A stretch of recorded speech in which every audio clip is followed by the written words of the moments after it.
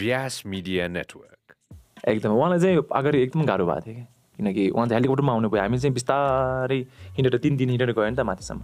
उहाँ चाहिँ हेलिकप्टरमा आउनु भएर अगाडि चाहिँ गाह्रो भएको थियो। बट यस्तो विल पावर रहेछ। म छक्क परेँ उहाँलाई गाह्रो हुँदाखेरि त्यस्तै तिन दुई तिन घन्टा यत्तिकै बसिरहेको थियो क्या। लाइक गाह्रो भइरहेछ तर उसलाई गाह्रो भएको नभनेको क्या।